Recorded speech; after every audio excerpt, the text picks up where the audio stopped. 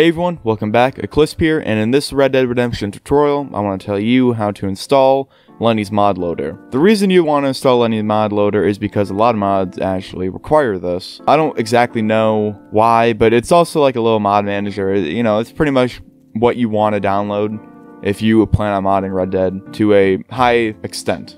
So the first thing we're going to do is download Lenny's Mod Loader, which is right here. Download this file, click download and then it's going to start the download. Just click save. Then you go on, double click it, and as you can see, we have all these files.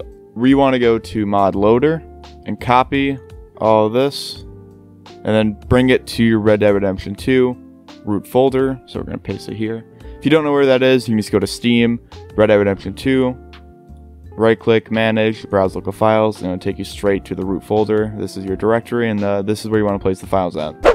So here we are on a desktop and we have the mod manager. So we want to drag the mod manager out to our desktop because we want this to be somewhere where we don't delete it because this is where everything happens. Um, so right now you can just delete your LML. As long as you have your mod manager folder, then that's fine. So double click it and double click the mod manager UI.exe. This is how you start the mod manager. Um, you can customize the light, uh, the themes or whatever, and uh, as you can see on the top, it says please select a valid game folder. So we're going to double click the three dots. And again, we're going to navigate to our Red Dead Redemption 2 folder. We're going to click select folder. So we're going to click save. And as you can see, welcome to Lenny's Mod Loader, and it gives you all the info for it. And uh, your downloads are all right here. So the easiest way to download LML mods is to use mods from rdr2mods.com. I'm not a fan of this. I typically like using the Nexus mod website because this is where it's my home when it comes to mods, Fallout mods, everything is just there.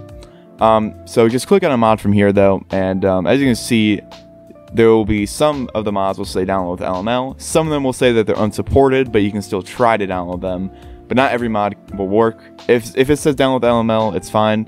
Um, now, actually, I cannot download mods with LML. So if I click download, as you can see, it's not going to download this. And that is because my browser blocks ads. Now, let's say you have a browser like Brave or whatever that blocks ads just like I do. This is how you download mods with LML the different way.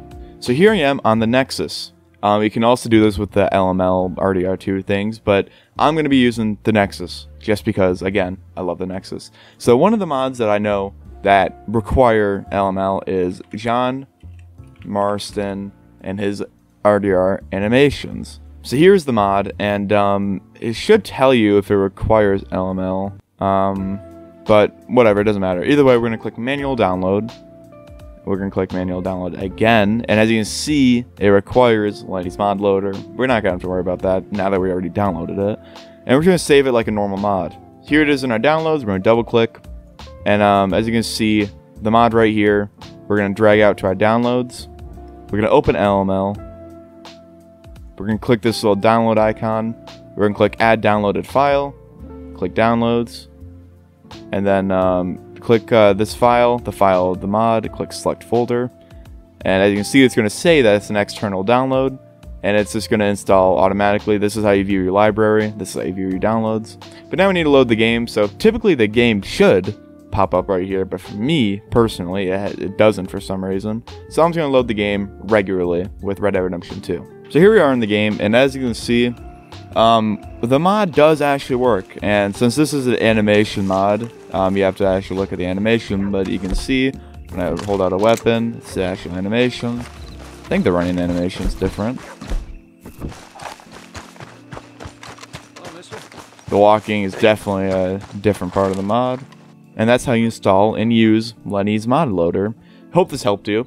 Um, and I hope a lot of people start modding Red Dead Redemption 2 and start maybe getting into creating mods for Red Dead Redemption 2 because this game has a lot of potential and and um, goodbye everyone.